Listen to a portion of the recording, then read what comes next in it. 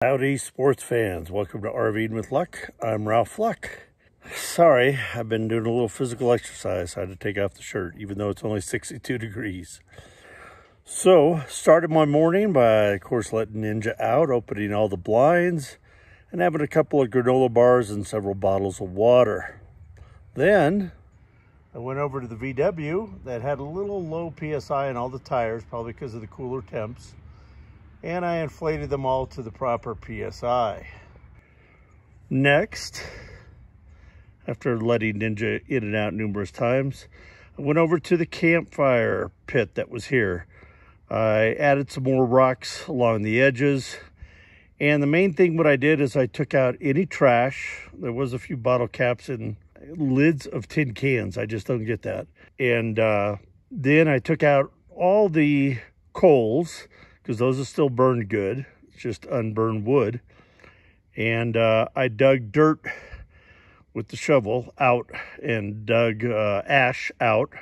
Basically spread it along the rocks around the edge of the pit. You can't even hardly tell. And uh, then I layered some small wood on the bottom. A lot of uh, kindling down there. Then I threw my trash in, all paper plates, paper towels, baby wipes, and then I put on these guys. They're going next, but all the uh, cardboard soda beer cases that I broke up. Then I layered some more wood, a few medium-sized pieces of wood and some kindling. And now I'm going to put on the last touch before lighting it. So here's my pieces of fat wood. Well, after I throw them on, I'll throw you a picture of the box I got these at Walmart from and I'll give you a brief uh, description. Let's put these on.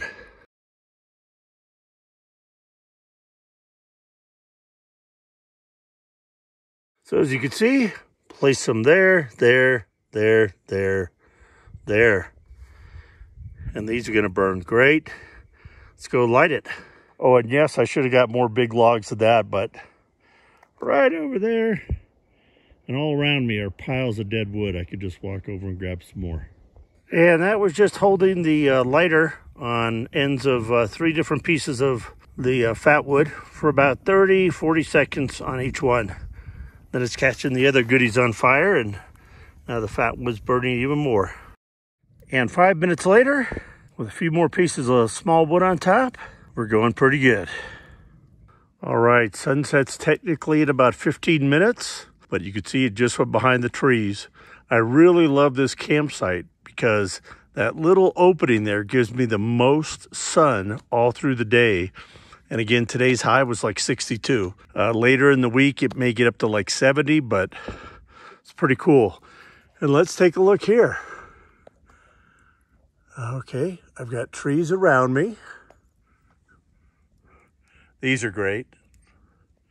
But as you can see, open skies above me. Let's take a look at the other side. Wide open above me, but I get a little break from the morning sun. But right around midday, gosh, until about, well, from about 11 to 4, I'm getting 100% sun. It's great.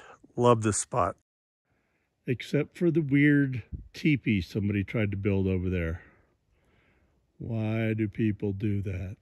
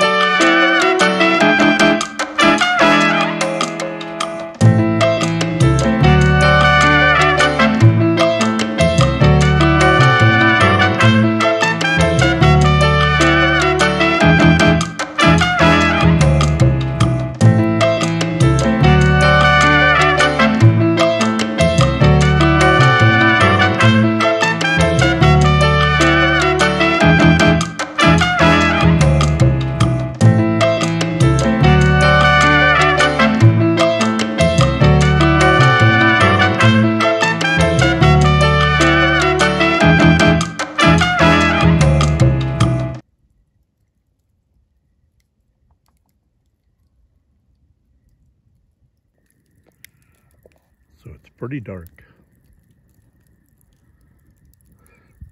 But right there.